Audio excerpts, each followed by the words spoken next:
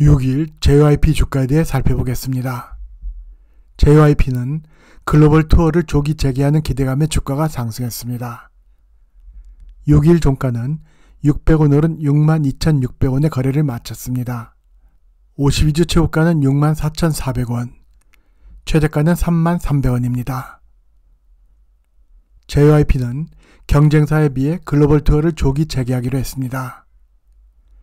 JYP의 아티스트에는 트와이스, 스트레이키즈, 엔믹스, 니쥬, 2PM 등이 속해 있습니다. JYP의 분기별 실적은 코로나19 이전의 수준으로 회복해가고 있습니다. 유안타증권은 JYP의 올해 1분기 매출액이 576억 원, 영업이익이 172억 원에 이를 것으로 내다보고 있습니다.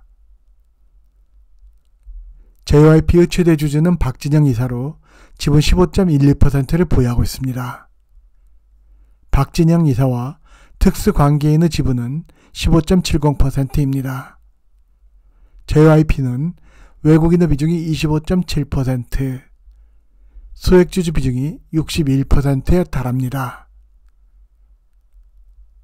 지난 한 달간 투자 주체별로는 개인이 95만 6천 주를 순매도했습니다. 외국인은 92만 5천 주, 기관은 9만 1천 주를 각각 순매수했습니다. 외국인은 이틀째 주식을 사들이고 있습니다. 글로벌 이코노믹은 스톡TV가 특허 출원한 BM 모델을 이용해 동영상을 제작하고 있습니다. 동영상은 참고용이며 투자자에 대해 어떠한 책임도 지지 않습니다.